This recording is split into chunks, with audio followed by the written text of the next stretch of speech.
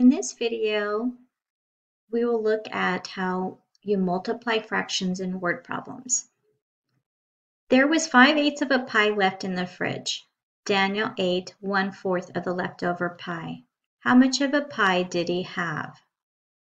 So we, what I realize is that they want us to find out what is one fourth of 5 eighths. I want to start with a picture. And I'm going to use a rectangle to represent the pie. And I want to know what is 1 fourth of 5 eighths. So 5 eighths, I'm going to start with a picture of 5 eighths. So I'm going to divide this into 8 equal parts. It's 2, divide in half again, that would give me 4, and then divide one more time.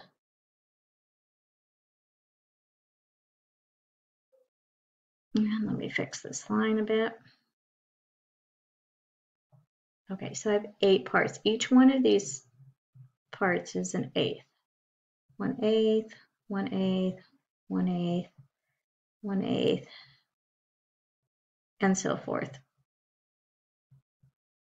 And if I add these all together, that would equal 8 over 8, which is one, um, one whole. So we have one whole here. And there was 5 eighths of the pie left. So I am going to shade in 5 eighths. One, two, three, four, and five. This section here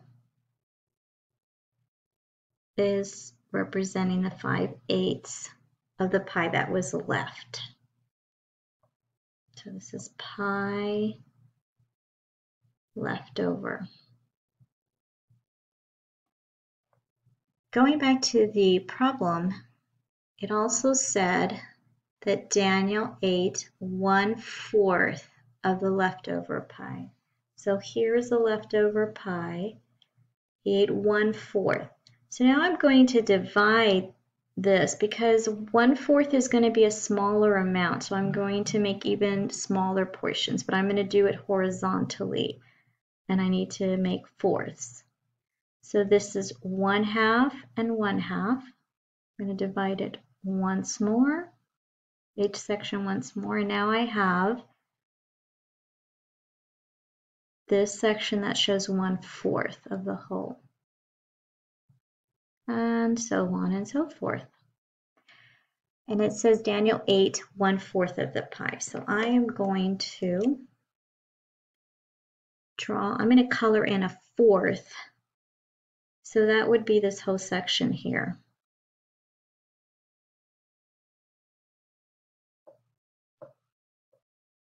I'm going to outline the section, the pieces that have both green and red. And that's one, two, three, four, five. So that's going to be my numerator. Five. My denominator is how many equal pieces are there. And one way I could find that out would be to count it all. 1, 2, 3, 4, 5, 6, 7, 8, 9, 10, 11, 12, 13, 14, 15, 16, 17, 18, 19, 20, 21, 22, 23, 24, 25, 26, 27, 28, 29, 30, 31, 32. Another way would be to multiply the length times the width, which is 8. Let me circle the 8 as the denominator times 4. And 8 times 4 is 32. So I get the same amount of pieces. So 5 over 32. Now that you understand that we are there, we're, when we multiply, we were when we were looking for the leftover or how much pie had left, we were making it into smaller parts. We had we took one fourth of 5 eighths what we're really, what we are doing now with multiplying fraction is we are taking one fourth of, and we can say of instead of times, one fourth of 5 eighths. And we multiply across. 1 times 5 is 5. And denominator 4 times 8 is 32. So this is, again, it's read as 1 fourth of 5 eighths. So our answer to this question is Daniel 8 5 32nd of the pie.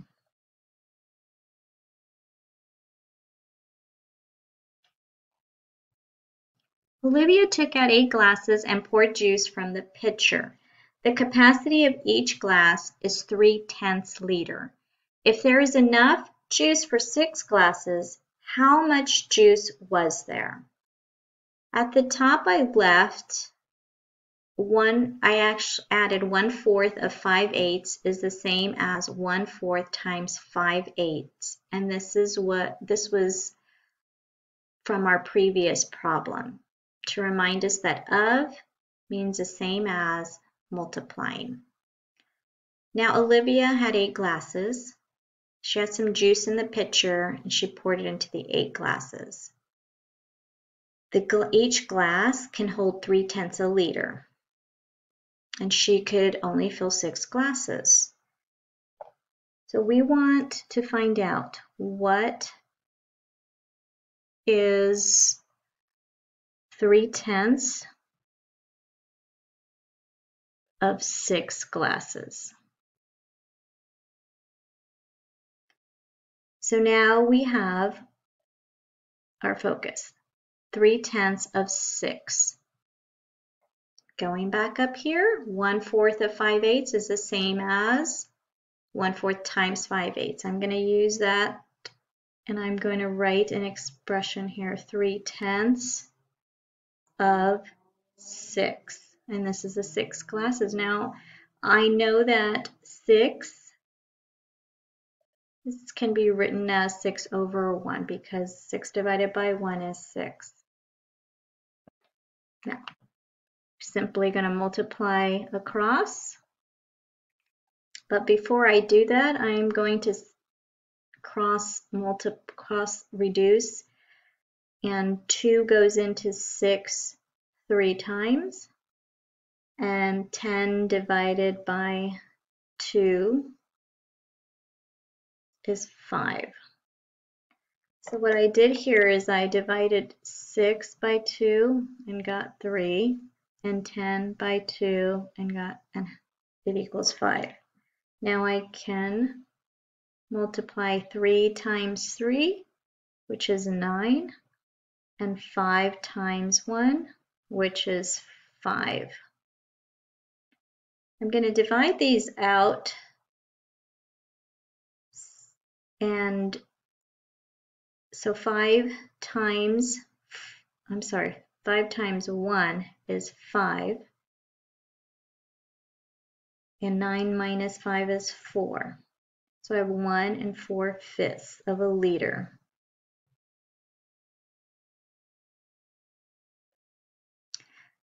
The question again was how much juice was there?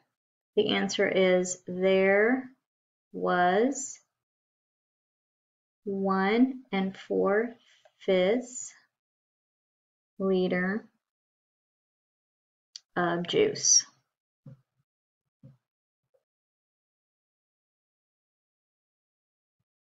Pam baked some cupcakes for her friends. She baked 24 cupcakes. Each cupcake is 2 fifteenths pound. If she packed six cupcakes in each box, what is the weight of each box? Pause the video and try this out on your own. What am I being asked to find? What is 2 fifteenths of 6? The six is representing the six cupcakes in each box, and each of them weighs 2 15 pounds. So, looking back, referring back here, I know that 2 fifteenths of 6 is also can be written as 2 fifteenths times 6. I'm going to write it over 1, 6 over 1. I'm going to see if I can divide, I can divide 6 by 3 and 15 by 3. 6 divided by 3 is 2 and 15 divided by 3 is 5. Now I can multiply across 2 times 6 I'm sorry, 2 times 2 is 4, and 5 times 1 is 5. So the weight of each box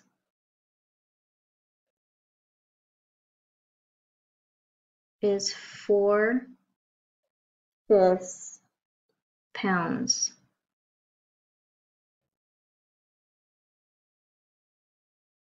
According to a recipe, each batch of pancake mix can make 12 pancakes.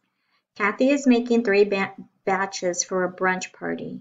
If each batch needs 7 12 cups of milk, how much milk does she need in total? So what am I being asked to do? I'd like you to pause the video and I'd like you to try it on your own. So we're making three batches or she's making three ba batches. And each batch needs 7 twelfths. So basically, what is 7 twelfths of three batches? 7 twelfths times 3. I'm going to divide this by divide 3 by 3, divide 12 by 3, this equals 1, and this equals 4. 7 times 1 is 7, 4 times 1 is 4. And let's divide this out since our numerator is greater than our denominator. 4 times 1 is 4. 7 minus 4 is 3. So 1 and 3 fourths cups. 1 and 3 fourths cups of milk. So our answer, our question is how much milk does she need in total? She needs 1 3 fourths cups of milk.